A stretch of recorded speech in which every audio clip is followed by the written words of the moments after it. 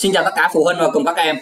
Hôm nay thầy sẽ dạy toán lớp 8 phân tích đa thức thành nhân tử. Đa thức là à, cái nhiều cái đơn thức à, nhiều cái đơn thức chúng ta ghép lại nó trở thành một cái đa thức. À. thành nhân tử là thành là gì? Thành những cái cụm như thế này những cái cụm ngoặc à, nhân với nhau à, nhân với nhau. Đó. Nhân với nhau. Ngay chỗ này là dấu nhân ngay chỗ này là dấu nhân còn trong cái cụm ngoặc này thì nó nó dấu cộng dấu trừ gì đó không thành vấn đề được không? Đó. Rồi chúng ta sẽ đưa ra những cái cụm à, nhân với nhau cụm tích cụm tích à, nhân với nhau.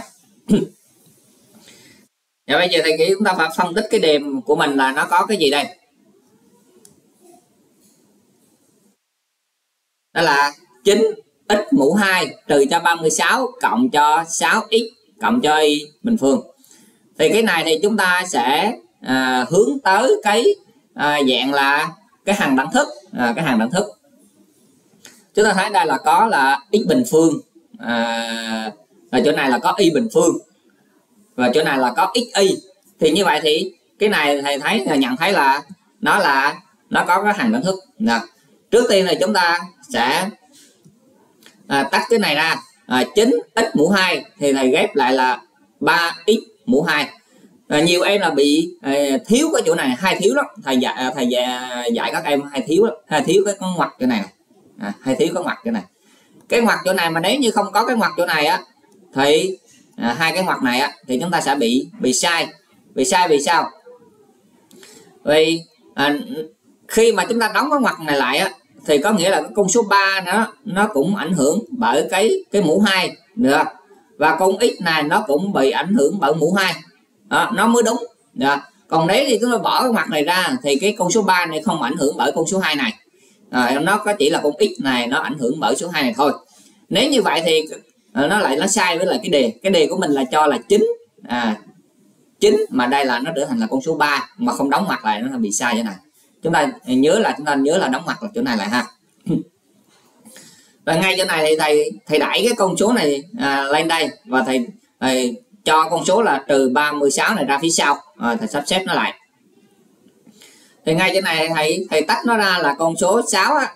Thì con số 6 nó là ra con số à, số 2 ta nhân 3 để mục đích gì? Cho nó nó giống cái cái nó mường tượng cho nó giống cái hàng đẳng thức. À, hàng đẳng thức là a ta cộng b à, đóng ngoặc lại tất cả là mũ 2 nên đây là một cái dạng hàng đẳng thức này. Nó là một cái dạng hàng đẳng thức là a này. À, ta cộng với lại là là b này. À, b đóng ngoặc lại mũ mũ hai. Đó là nó có có dạng hàng đa thức này. Được nó có dạng hàng đa thức này. Rồi tiếp theo thì chúng ta sẽ à, sẽ triển khai cái hàng đa thức này ra. Và trừ cho 36 này. Rồi đây. Đây là cái bản thân cái con số này là là là a. Nè bản thân nó số là là a.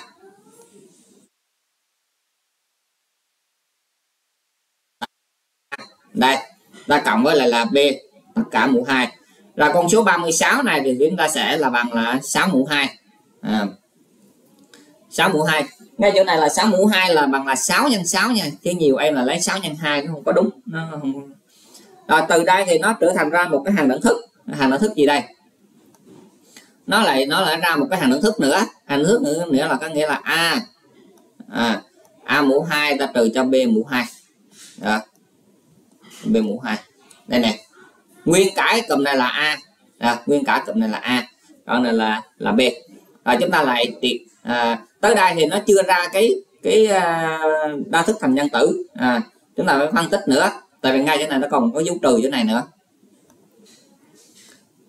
Rồi chúng ta sẽ à, tiếp theo chúng ta sẽ triển khai cái cái hàng đa thức này ra.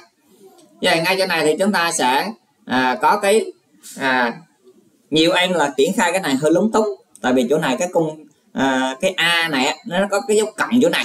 Yeah. thường thường là chỉ chẳng hạn như a là cái 3x thôi hoặc là y thôi. Nhưng mà bây giờ a nó lại uh, 3x ta cộng y được không? Nó hơi lúng túng như này nhiều em hơi lúng túng.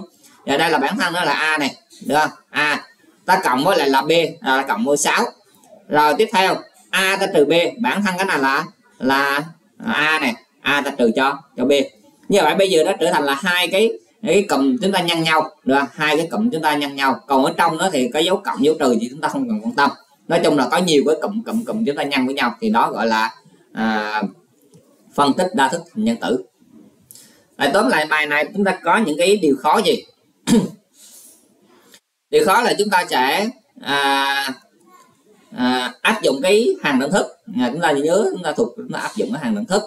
Là đây là cái hàng thức là à, a ta cộng b đóng ngoặc lại tất cả mũ hai. À, và cái hàng đẳng thức là a bình phương ta trừ cho b bình phương. À, chúng ta sẽ giờ cái câu này qua. À, giờ là câu số cuối cùng. Rồi. Bài học hôm nay chúng ta kết thúc tại đây. Các em nhớ đăng ký kênh của thầy để nhận được những bài học mới tiếp theo nhé. Xin chào các em. Các em muốn tìm bài học đề thi bài kiểm tra thì dưới bất kỳ clip nào của thầy cũng có phần mô tả. Trong phần mô tả thì đi sẵn đường link của blog. Trong blog thầy giải rất nhiều có đầu sách. Các em vào đó các em tìm bài nhé. Chúc bài học tốt